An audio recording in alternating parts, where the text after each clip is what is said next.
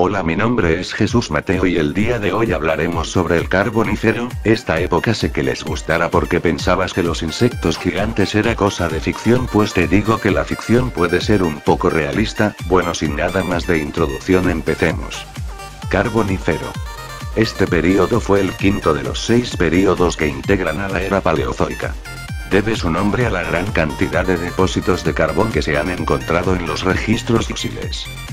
Esto ocurrió porque una gran cantidad de bosques fueron sepultados, lo que originó que se formaran estratos de carbón.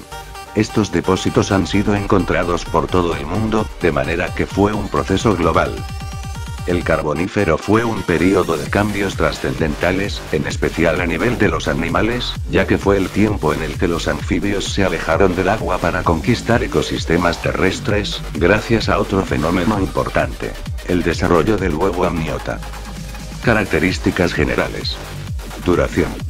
El período carbonífero tuvo una duración de 60 millones de años, iniciándose hace 359 millones de años y finalizando hace 299 millones de años.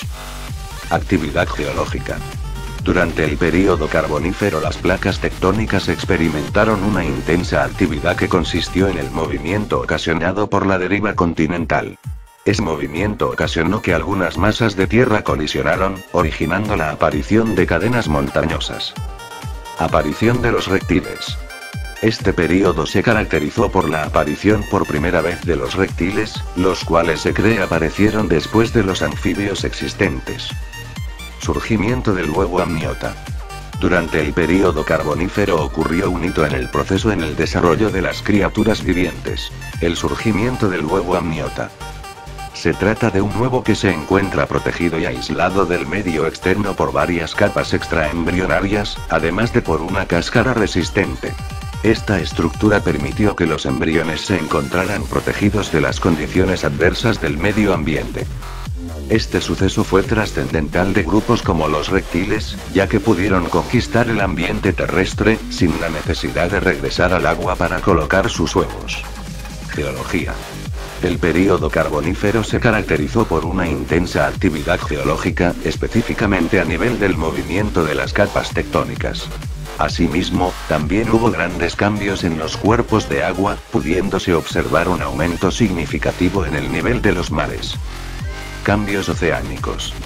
En el supercontinente Gondwana, que se encontraba ubicado hacia el polo sur del planeta, las temperaturas disminuyeron considerablemente, ocasionando la formación de glaciares.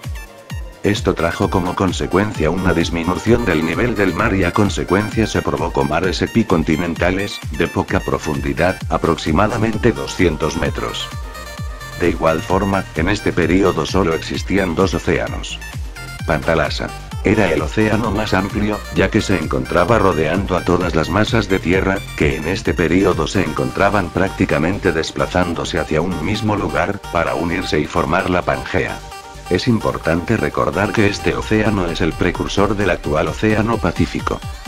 Paleotetis. Se encontraba dentro de la llamada O de Pangea, entre el supercontinente Gondwana y Euramérica. Fue el precursor, en primera instancia, del océano Proto-Tetis, el cual finalmente se transformaría en el océano Tetis. Había otros océanos que fueron significativos durante el período anterior, como el océano Ural y el océano Reiko, pero fueron cerrados en la medida en que fueron colisionando los diferentes fragmentos de tierra. Clima. Durante el período carbonífero el clima fue cálido, al menos en la primera parte. Fue bastante cálido y húmedo, lo que permitió que por todo el planeta se diseminara gran cantidad de vegetación, permitiendo la formación de selvas y por consiguiente el desarrollo y diversificación de otras formas de vida. Se cree entonces que durante los inicios de este período hubo una tendencia hacia las temperaturas suaves. Según algunos especialistas, la temperatura ambiental rondaba los 20 grados. Asimismo, los suelos contaban con bastante humedad, lo que dio lugar a la formación de pantanos en algunas regiones. Sin embargo, hacia finales del período hubo un cambio climático que fue trascendental, ya que cambió en gran medida la configuración de los diversos ecosistemas existentes.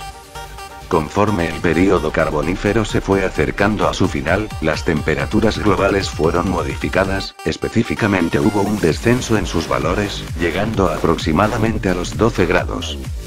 Gondwana, que se encontraba en el polo sur del planeta, experimentó algunas glaciaciones. Es importante destacar que durante esta época hubo grandes extensiones de tierra cubiertas por hielo, especialmente en el hemisferio sur. En la zona de Gondwana, se ha documentado la formación de glaciares, lo que ocasionó la disminución significativa del nivel del mar. En conclusión, al final del período carbonífero, el clima fue mucho más frío que al inicio, disminuyendo las temperaturas en más de 7 grados, lo cual trajo graves consecuencias ambientales, tanto para las plantas como para los animales que ocupaban el planeta en aquel período. Flora. Durante el período carbonífero hubo una gran diversificación de las formas de vida existentes, tanto a nivel de flora como de fauna. Esto se debió a las condiciones ambientales que fueron realmente favorables en un principio. Un ambiente cálido y húmedo era el ideal para el desarrollo y permanencia de la vida. Durante este período hubo una gran cantidad de plantas que poblaban las zonas más húmedas y cálidas del planeta. Muchas de esas plantas se asemejaban en gran medida a las que había en el período anterior, el devónico. En toda esa abundancia de plantas, hubo varios tipos que se destacaron. Telidospermatopita, lepidodendrales, cordaitales, equisetales y licopodiales. Telidospermatopita. Este grupo también es conocido como helechos con semilla. Fueron particularmente abundantes en el área del supercontinente Gondwana. Según los registros fósiles, estas plantas se caracterizaban por presentar hojas largas, muy similares a las de los actuales helechos. Además se cree que eran una de las plantas con más abundancia en el ámbito terrestre. El nombramiento de estas plantas como helechos es controvertido, pues se sabe que eran productoras de semillas verdaderas, en tanto que los helechos actuales, pertenecientes al grupo de las pteridopitas, no producen semillas. La denominación de estas plantas como helechos se debe, en gran parte, a que su apariencia era similar a la de estos, con grandes y frondosas hojas. Es importante destacar que estas plantas crecían muy cerca del suelo, por lo que también formaban una maraña densa de vegetación que retenía su humedad. Lepidodendrales. Fue un grupo de plantas que se extinguió a principios del período posterior, el Pérmico. Durante el Carbonífero alcanzaron su máximo esplendor como especie, observándose plantas que pudieron alcanzar hasta los 30 metros de altura, con troncos que tenían hasta 1 metro de diámetro. Entre las características de estas plantas se puede mencionar que sus troncos no se encontraban ramificados, sino en el extremo superior, donde estaban las hojas, dispuestas en una especie de corona arborescente. Las ramificaciones, que se encontraban en la parte superior de la planta, presentaban en su extremo distal la estructura reproductiva, que consistía en un estróbilo, en los que se formaban las esporas. Un dato curioso de este tipo de plantas es que se reproducían una sola vez, muriendo luego. A las plantas que hacen esto se les conoce con el nombre de monocárpicas. Cordaitales fue un tipo de plantas que se extinguieron durante el proceso de extinción masiva del Pérmico Triásico. En este grupo se localizaban árboles de gran altura, más de 20 metros. En el tallo presentaban xilema primario y secundario. Sus hojas eran muy grandes, llegando incluso a alcanzar 1 metro de longitud. Su estructura reproductora eran los estróbilos. Los masculinos presentaban sacos polínicos que se encontraban almacenados en escamas externas, en tanto que los femeninos presentaban hileras de brácteas a ambos lados del eje central. Asimismo, los granos de polen presentaban sacos aeríferos. Xetales. Este fue un grupo de plantas altamente distribuido durante el período carbonífero. Casi todos sus géneros se extinguieron, sobreviviendo solo uno hasta la actualidad. Xetun, conocido también como cola de caballo. Entre las características de estas plantas estaban que contenían vasos conductores, a través de los cuales circulaban el agua y nutrientes. El tallo de estas plantas era hueco, pudiéndose evidenciar ciertos engrosamientos correspondientes a los nudos de los cuales nacían las hojas. Estas eran de aspecto escamoso y de tamaño reducido. La reproducción de estas plantas era a través de esporas, originadas en estructuras conocidas como esporangios. Licopodiales. Estas eran plantas pequeñas que han logrado sobrevivir hasta la actualidad. Fueron plantas de tipo herbáceo, con hojas de tipo escamoso. Eran plantas propias de hábitats cálidos, especialmente en aquellos de suelos húmedos. Se reproducían a través de esporas, conocidas como homosporas. Vida y fauna. Durante este periodo la fauna se diversificó bastante, debido a que las condiciones climáticas y ambientales eran muy favorables. El ambiente húmedo y cálido, sumado a la gran disponibilidad de oxígeno atmosférico, contribuyó a que se desarrollaran gran cantidad de especies.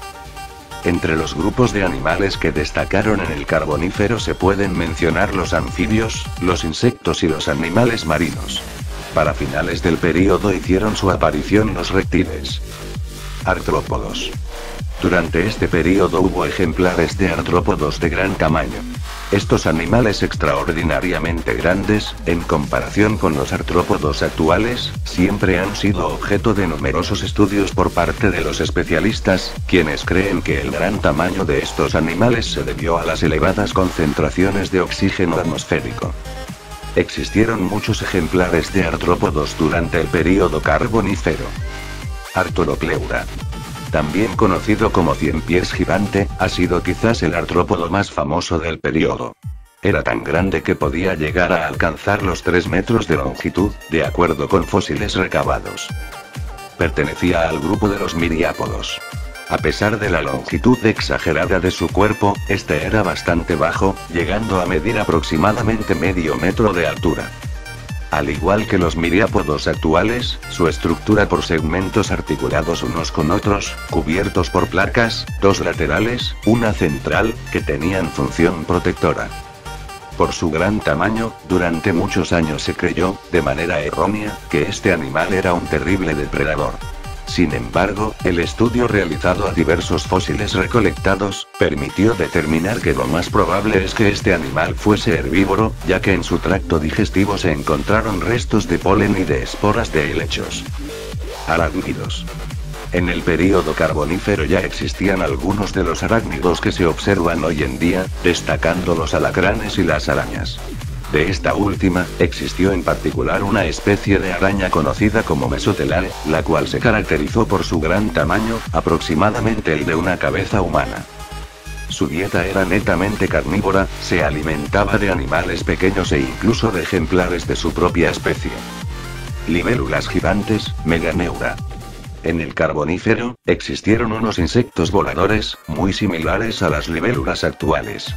De las especies que conformaron a este género, la más reconocida es la Meganeura mondi, la cual vivió durante este periodo.